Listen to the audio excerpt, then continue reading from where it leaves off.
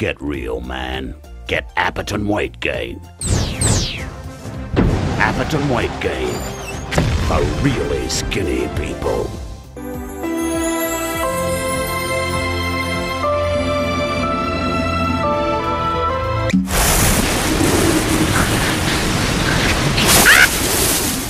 Xin chào các bạn quay trở lại với kênh Top 1 Khám phá Các bạn thân mến, có thể nói thì quảng cáo là một trong những phương pháp hiệu quả giúp doanh nghiệp giới thiệu sản phẩm của mình tới với khách hàng để gây ấn tượng mạnh với người xem thì rất nhiều những đoạn quảng cáo đã chèn thêm những chi tiết hài hước, bá đạo khiến dân tình cười bò ngặt nghẽo, ngán ngẩm Và không cần đi đâu xa, ngay tại Việt Nam chúng ta thôi cũng có rất rất nhiều những đoạn clip quảng cáo giống như vậy Vậy đó là những quảng cáo nào? Sản phẩm của họ bá đạo ra sao? Ngay bây giờ hãy cùng với Top 1 chúng mình tìm hiểu nhé và khuyến khích các bạn không nên uống nước khi xem để tránh bị sặc nhé.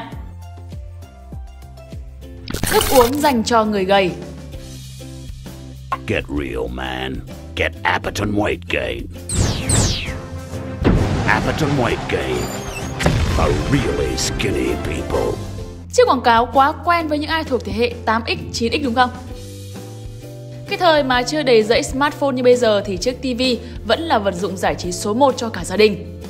Còn nhớ những bữa cơm cùng nhau quây quần xem thời sự, những buổi trưa không ngủ mà canh tới giờ chiếu phim, những bộ phim hoạt hình hấp dẫn mà chỉ cần bỏ lỡ một tập thôi là ăn không ngon cả buổi tối. Thế nhưng trên tất cả, thứ thu hút chúng ta nhiều nhất của chiếc TV lại chính là quảng cáo. Chẳng hiểu vì sao lại thấy hay ho một cách lạ lùng, vừa xem vừa ăn lại càng nghiền. Và đây, thức uống dành cho những ai siêu gầy, xứng đáng là mẫu quảng cáo huyền thoại nhất.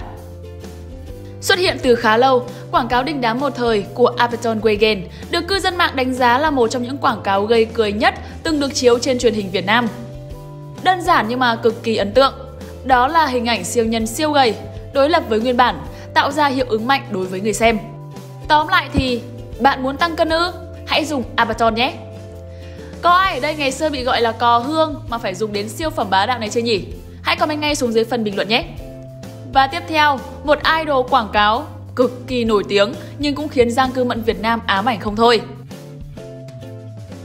Duyên phận, phiên bản điện máy xanh bạn muốn mua tivi Bạn muốn mua tivi Đến điện máy xanh Đến điện máy xanh Bạn Ở đây có ai còn nhớ tới giai điệu đầy ám ảnh này không nhỉ?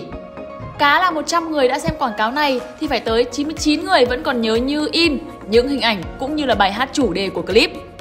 Sản xuất vô vàn những siêu phẩm nhưng khiến cư dân mạng điên đảo nhất vẫn là chiếc quảng cáo này. Vẫn phông nền xanh với tất tần tật mọi thứ màu xanh. Tuy nhiên, chiếc quảng cáo này còn có xuất hiện một nhân vật chính mới là một cô nàng với làn da xanh và một bộ váy cũng xanh không kém. Chưa kịp giật mình vì mỹ nhân màu xanh kỳ quặc này thì khán giả được fan cười bò khi bài hát chủ đề vang lên. Phận là phụ nữ, mua đồ là đam mê, quạt, nồi, bếp ga, bình tách ly, muốn mua quài quài. Vâng, trên nền beat của ca khúc Duyên Phận, mỹ nhân màu xanh đã hát lên tâm tình của biết bao nhiêu chị em một cách xuất sắc. Tiếp sau đó là màn lên sân khấu của những nhân vật mặc đồ bó màu xanh quen thuộc. Ôi thôi, bộ đồ kín bưng từ đầu đến chân và những mô hình thiết bị điện tử gia dụng to đùng trên đầu. Các bạn thì sao nhỉ?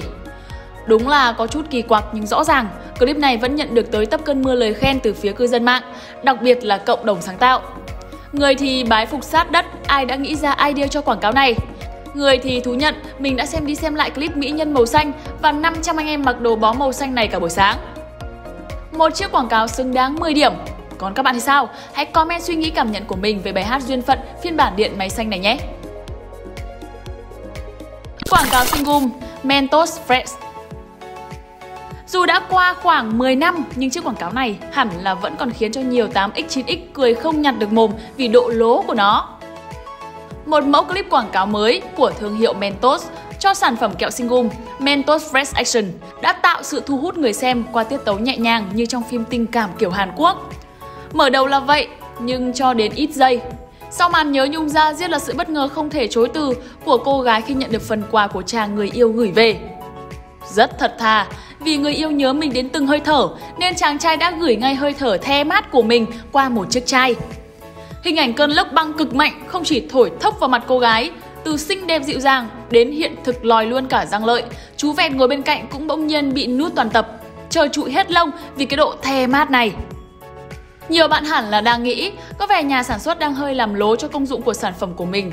Nhưng các bạn ạ, quảng cáo là thế và chi tiết này thực sự hài hước và đem lại tiếng cười cho khán giả mà đúng không?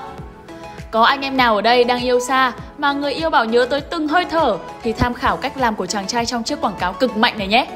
Cảnh báo là tác dụng chắc chắn không như quảng cáo, nhưng nhai kẹo tạo cảm giác the mát tức thì, xả stress thì chắc chắn là có nha. Và tiếp theo, một sản phẩm mà chắc chắn nhiều người cũng không ngờ rằng nó lại được đầu tư quảng cáo vi diệu như vậy. Dầu nóng thiên thảo, phiên bản viễn tưởng Thường thì khi chúng ta nhắc đến quảng cáo, hẳn là nhiều người sẽ nghĩ rằng một khi họ đầu tư thì chắc chắn sản phẩm hoặc dịch vụ đó phải rất xịn sò, đắt đỏ thì mới đáng bỏ ra tiền tỷ để đầu tư. Thế nhưng chưa hẳn đâu nha các bạn. Nếu có ai đang suy nghĩ như vậy thì chắc chắn các bạn chưa biết đến quảng cáo dầu nóng thiên thảo rồi. Một sản phẩm của công ty dầu gió Trường Sơn, giá thành tuy thuộc hàng bình dân nếu không muốn nói là rất rẻ nhưng lại cực kỳ đầu tư về ý tưởng. Trong 15 giây đầu tiên, các bạn có đoán được đây là cái gì không? Trông có vẻ như là trailer của một bộ phim hành động nào đó đang sắp ra mắt đúng không? Cô gái đang đi trên đường, chẳng may bị cướp túi sách. Và thế rồi kẻ gian bị một ông già đánh bại. Và tiếp theo đó là màn hành động đậm chất cung phu và các vật dụng đồ cổ được hóa robot. Trông đỉnh của chóp như vậy, nhưng thực sự đây lại là thước phim quảng cáo cho một nhãn hàng dầu gió. Và điều khiến mọi người bất ngờ hơn cả, nó là một sản phẩm của Việt Nam. Bối cảnh, đồ họa của clip này thực sự được đầu tư rất bắt mắt và hấp dẫn người xem. Màn hành động ít nhưng mà chất và lôi cuốn. Cách thể hiện nội dung mới và thực sự sáng tạo. Và vì quá hot nên chỉ sau 10 tiếng đăng tải, video quảng cáo này đã nhận được hàng ngàn lượt chia sẻ, hàng trăm lượt xem với những phản hồi vô cùng tích cực. Ngầu lòi mà lại còn hài hước nữa. Việt Nam chúng ta mãi đỉnh mà đúng không? Và không chỉ có dầu gió thiên thảo đâu, một sản phẩm nước uống cũng cực kỳ bá đạo mà chắc hẳn ai cũng từng thử qua. Nước uống tăng lực Nhắc đến nước uống tăng lực thì hẳn là trong đầu các bạn sẽ văng vẳng câu nói Mình uống đi cho khỏe, đúng không nào?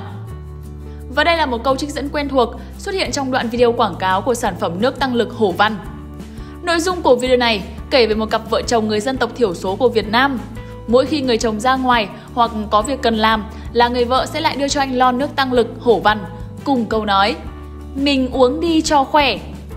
Hiểu theo cách đơn giản thì uống một lon nước tăng lực người ta sẽ khỏe mạnh hơn, tiếp thêm sức lao động và sảng khoái tinh thần, đầu óc. Được cho là hài hước thú vị, dễ hiểu.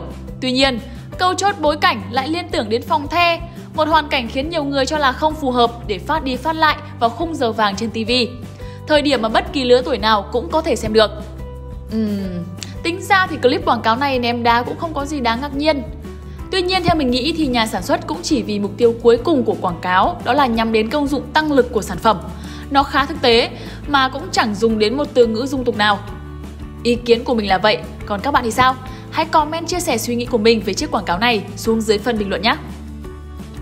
Và tiếp theo hãy cùng đến với một chiếc quảng cáo phải nói là sau khi xem xong, nhiều người sẽ không khỏi bất ngờ và bán tín bán nghi rằng liệu đó có phải là quảng cáo made in Việt Nam thật hay không.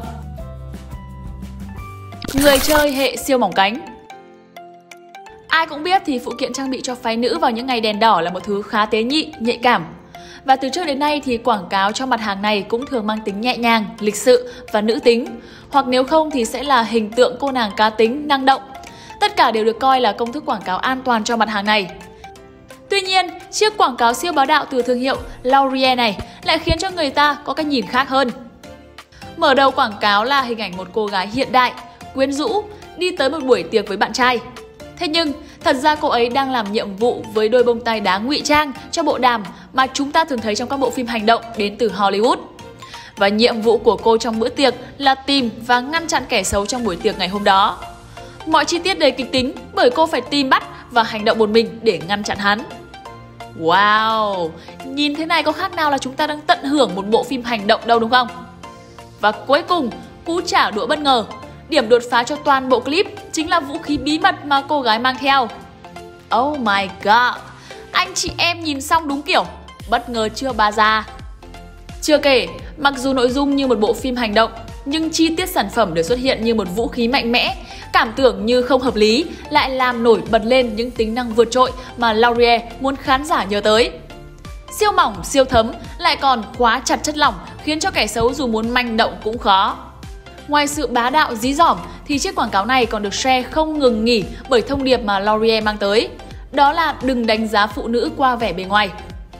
Vẻ đẹp mỏng manh thường khiến cho mọi người lầm tưởng là yếu đuối, nhưng theo L'Oreal thì mỗi cô gái sinh ra luôn có sức mạnh thật sự đến từ bên trong. Và sản phẩm này chính là vũ khí bí mật thể hiện đẳng cấp mỏng manh mà mạnh mẽ của những cô nàng quyền năng.